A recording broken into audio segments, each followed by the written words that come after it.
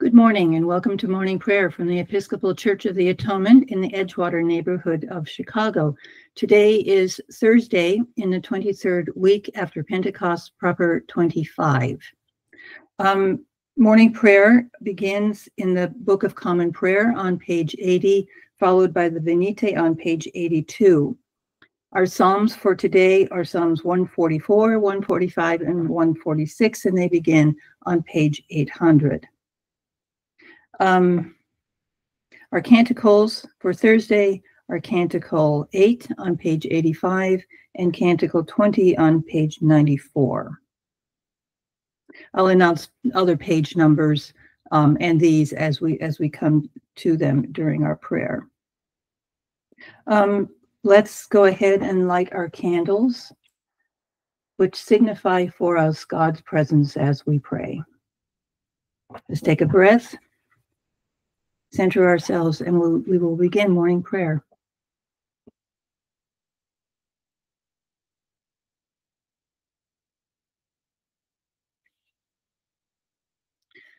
The Lord is in his holy temple. Let all the earth keep silence before him. Open our lips, and our mouth shall proclaim your praise. Glory to the Father, and to the Son, and to the Holy Spirit, as it was in the beginning, is now, and will be forever. Amen. Alleluia.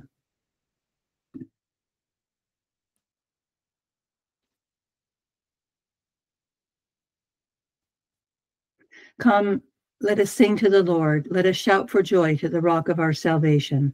Let us come before his presence with thanksgiving and raise a loud shout to him with psalms. For the Lord is a great God and a great King above all gods. In his hand are the caverns of the earth, and the heights of the hills are his also. The sea is his, for he made it, and his hands have molded the dry land. Come, let us bow down and bend the knee and kneel before the Lord our Maker, for he is our God, and we are the people of his pasture and the sheep of his hand. Oh, that today you would hearken to his voice. Worship the Lord in the beauty of holiness. Come, let us adore him. And now we will say Psalms 144, 145, and 146 beginning on page 800.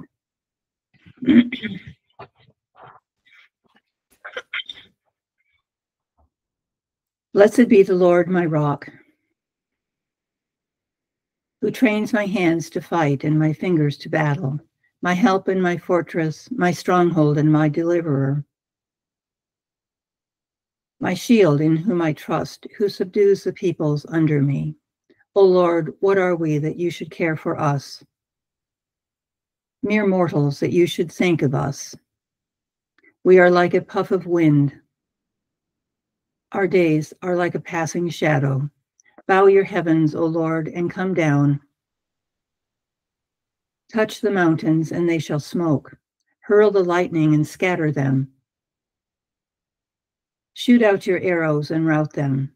Stretch out your hand from on high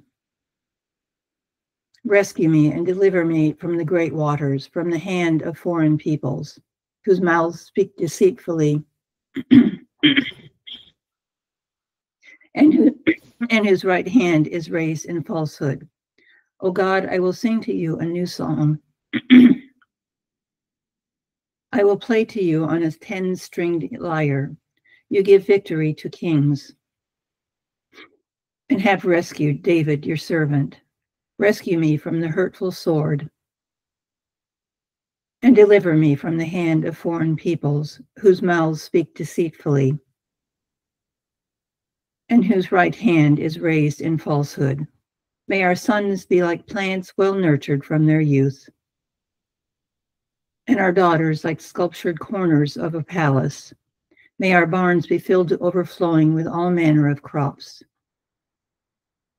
May the flocks of our pastures increase by thousands and tens of thousands. May our cattle be fat and sleek. May, may there be no breaching of the walls, no going into exile, no wailing in the public squares. Happy are the people of whom this is so. Happy are the people whose God is the Lord. Psalm 145. I will exalt you, O God, my King. and bless your name forever and ever.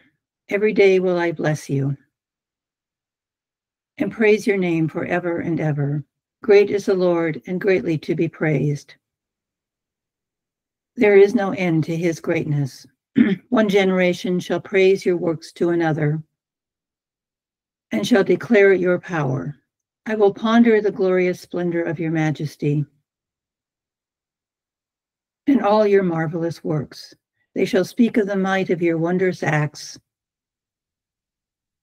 and I will tell of your greatness. They shall publish the remembrance of your great goodness. They shall sing of your righteous deeds. the Lord is gracious and full of compassion, slow to anger, and of great kindness.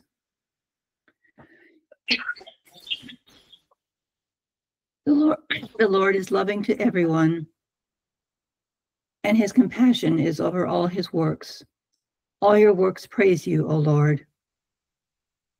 All your faithful servants bless you. They make known the glory of your kingdom and speak of your power, that the peoples may know of your power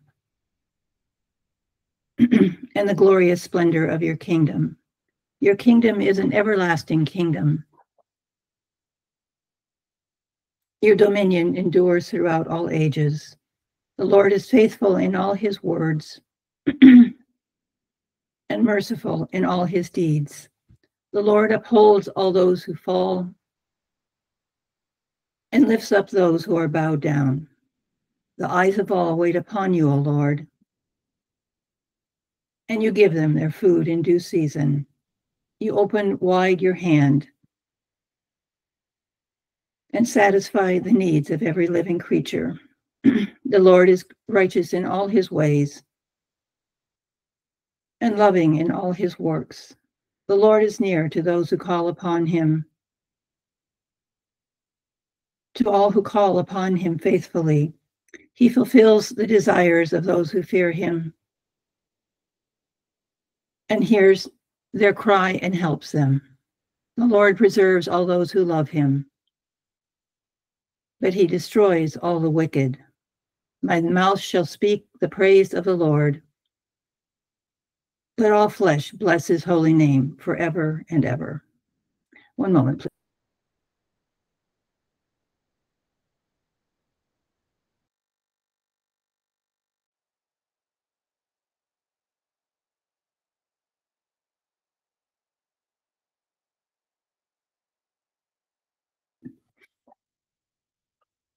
Psalm 146. Hallelujah. Praise the Lord, O my soul. I will praise the Lord as long as I live. I will sing praises to my God while I have my being. Put not your trust in rulers, nor in the child of earth, for there is no one to help in them. When they breathe their last, they return to earth. And in that day, their thoughts perish. Happy are they who have the God of Jacob for their help,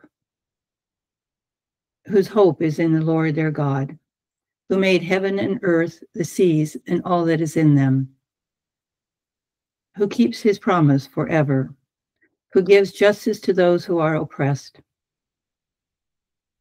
and food to those who hunger. The Lord sets the prisoners free. The Lord opens the eyes of the blind. The Lord lifts up those who are bowed down. The Lord loves the righteous. The Lord cares for the stranger. he sustains the orphan and widow, but frustrates the way of the wicked. The Lord shall reign forever. Your God, O Zion, throughout all generations. Hallelujah. Glory to the Father, and to the Son, and to the Holy Spirit as it was in the beginning, is now, and will be forever. Amen. and reading from the, or the first reading is a reading from the book of Ecclesiasticus and selections from chapter 31.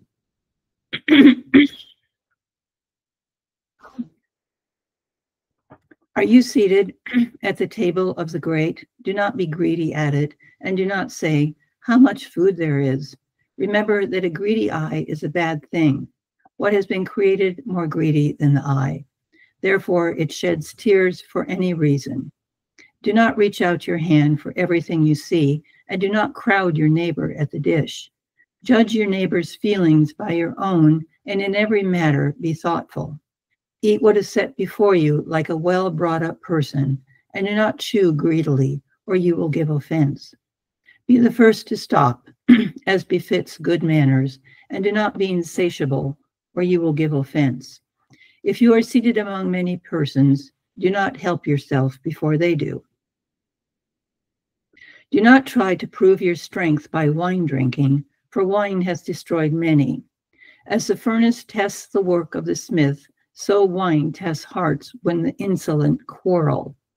Wine is the very life to human beings, if taken in moderation. What is life to one who is without wine? It has been created to make people happy. Wine drunk at the proper time and in moderation is rejoicing of heart and gladness of soul. Wine drunk to excess leads to bitterness of spirit, to quarrels and stumbling. Drunkenness increases the anger of a fool to his own hurt, reducing his strength and adding wounds. Do not reprove your neighbor at a banquet of wine, and do not despise him in his merrymaking. Speak no word of reproach to him, and do not distress him by making demands of him. If they make you master of the feast, do not exalt yourself. Be among them as one of their number. Take care of them first, and then sit down. When you have fulfilled all your duties, take your place so that they may be merry along with them and receive a wreath for your excellent leadership. Here ends the reading.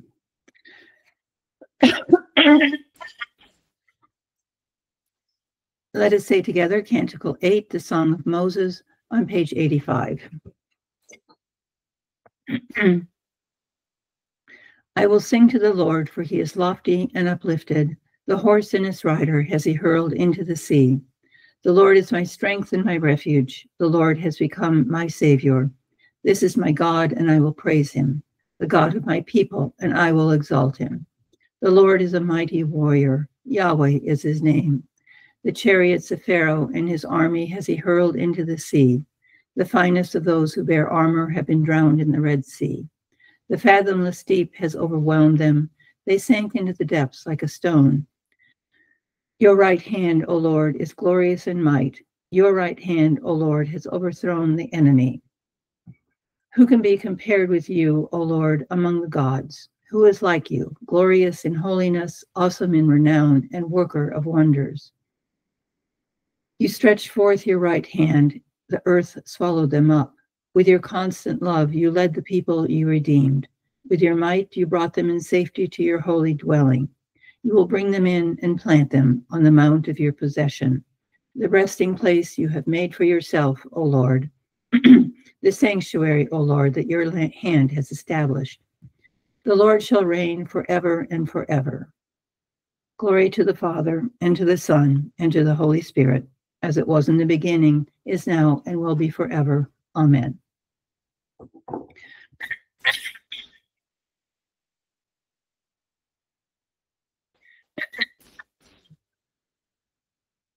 Our second reading is from the Revelation to John, uh, chapter 12, verses 7 through 17.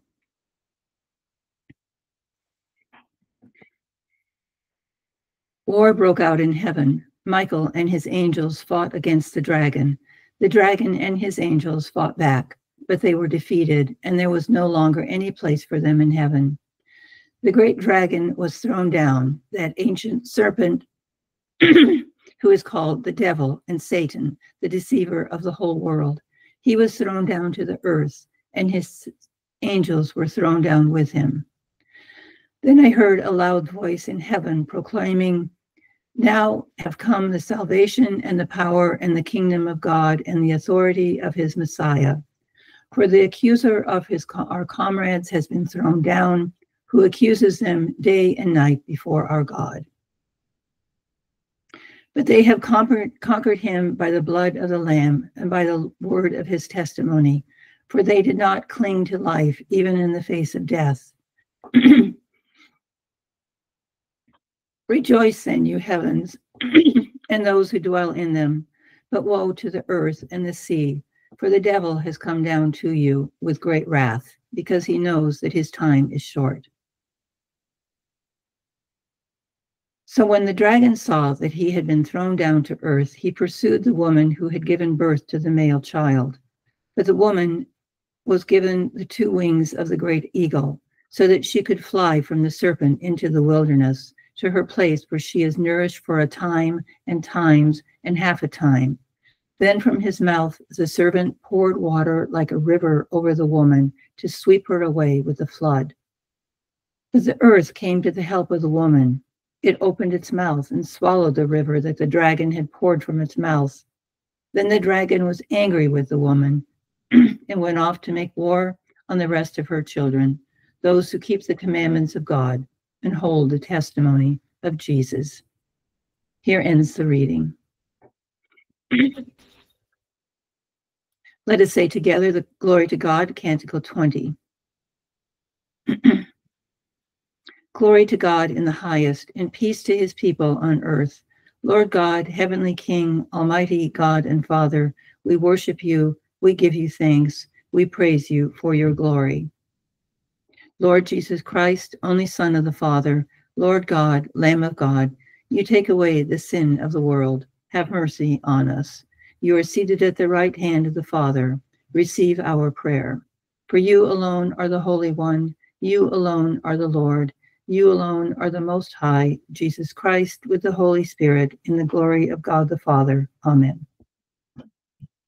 We have a third reading today uh, from Luke, uh, chapter 11, going into chapter 12. When Jesus went outside, the scribes and the Pharisees began to be very hostile toward him and to cross examine him about many things, lying in wait for him to catch him in something he might say. Meanwhile, when the crowd gathered by the thousands so that they trampled on one another, he began to speak first to his disciples. Beware of the feast of the Phag- be, sorry. Beware of the yeast of the Pharisees, that is, their hypocrisy. Nothing is covered up that will be uncovered, and nothing secret that will be become that will become known, not become known. Therefore, whatever you have said in the dark will be heard in the light, and what you have whispered behind closed doors will be proclaimed from the housetops. I tell you, my friends, do not fear those who kill the body and after that can do nothing more. But I will warn you whom to fear. Fear him who, after he has killed, has authority to cast into hell. Yes, I tell you, fear him. Are not five sparrows sold for two pennies? Yet not one of them is forgotten in God's sight even when the hairs, but even the hairs of your head are all counted. Do not, do not be afraid. You are of more value than many sparrows.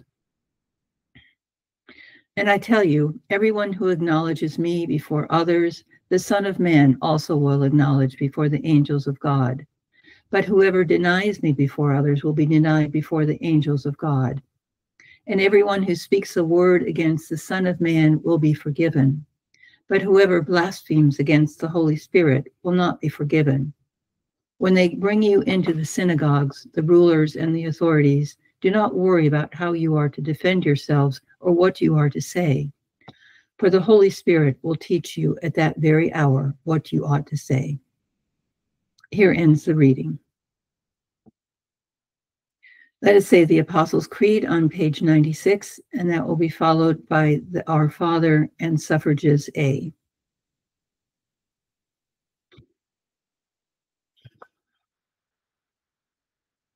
I believe in God, the Father Almighty, creator of heaven and earth. I believe in Jesus Christ, his only Son, our Lord.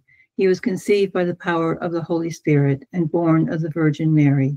He suffered under Pontius Pilate was crucified, died, and was buried. He descended to the dead. On the third day, he rose again. He ascended into heaven and is seated at the right hand of the Father. He will come again to judge the living and the dead.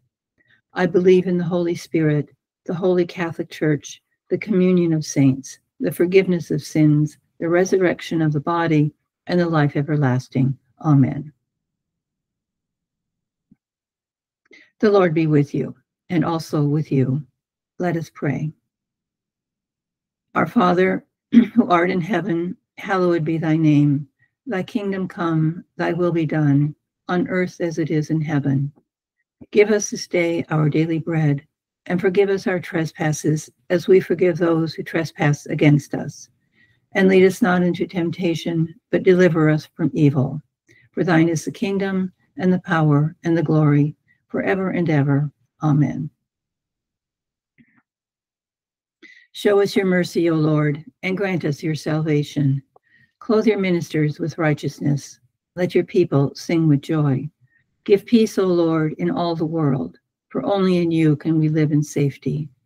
Lord, keep this nation under your care and guide us in the way of justice and truth. Let your way be known upon earth, your saving health among all nations. Let not the needy, O Lord, be forgotten, nor the hope, nor the hope of the poor be taken away. Create in us clean hearts, O God, and sustain us with your Holy Spirit. The collect of the day. Almighty and everlasting God, increase in us the gifts of faith, hope, and charity, and that we may obtain what you promise, make us love what you command. Through Jesus Christ our Lord, who lives and reigns with you and the Holy Spirit, one God, forever and ever. Amen. Heavenly Father, in you we live and move and have our being. We humbly pray you so to guide and govern us by your Holy Spirit that in all the cares and occupations of our life, we may not forget you, but may remember that we are ever walking in your sight. Through Jesus Christ our Lord. Amen. O God, you have made of all blood, you have made of one blood all the peoples of the earth, and sent your blessed Son to preach peace to those who are far off, far off, and to those who are near. Grant that people everywhere may seek after you and find you. Bring the nations into your fold. Pour out your spirit upon all flesh, and hasten the coming of your kingdom through Jesus Christ our Lord. Amen. And now we come to the prayers for the Church of the Atonement um, for the week of October 27th. Please feel free to add your own prayers as you wish. If you would like me to say them out loud, write them in the chat section, and I will be happy to do so. For the sick, for those in any need or trouble, and for all those who have asked for our prayers.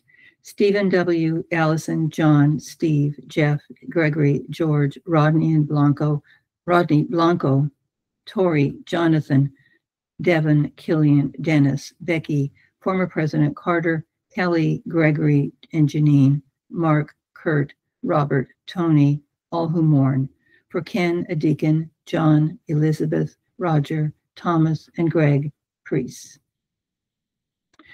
for an end to war, division, violence, and injustice, especially in the Middle East, Venezuela, Nicaragua, Haiti, Ukraine, Russia, Myanmar, Sudan, and Darfur. And we pray for justice and for an end to violence and discord in our city and nation. For all healthcare workers, especially Joseph Basil, Jackie, Jackie, Will, Choi, Erica, Kay, Larry, Kieran, Lee, Carrie, William, Eric, Lisa, Thomas, and Emily, for all families and children in the city and state, and for all prisoners. For members of our military services on active duty, especially Celeste and Nate, and for Scott serving as security in Iraq. For Michael, our presiding bishop, Sean, our presiding bishop, Paula, our bishop, Charles, our rector, Amanda and Dave, our wardens, and for the members of our vestry, for our sister parishes of St. Benedict's and St. Matthew's in Chiapas, Mexico, for all running for public office.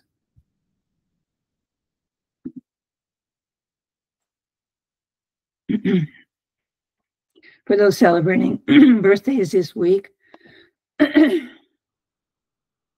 Aaron Johnson and Derek Witherton, Will Harvey, and Jared Hancock. For the souls of the departed Teri Garr, Bishop Paul Marshall, Bishop Daphne Smith, Howard Aronson, Barbara Wheeler, Ron Eheman, Phil Lesh, Robert Willis, Dean Emeritus of the Canterbury Cathedral.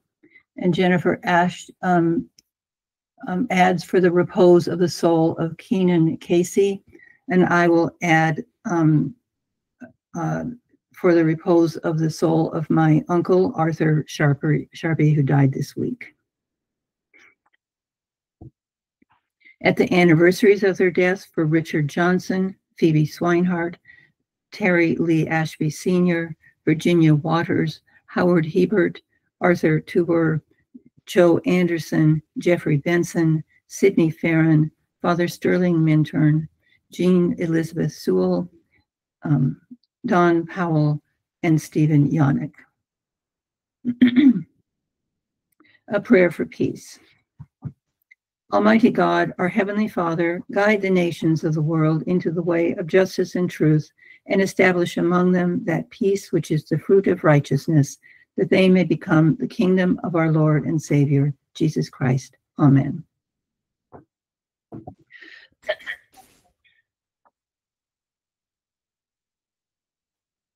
We will begin, um, we will begin, we will, we will continue morning prayer with a general thanksgiving on page 101.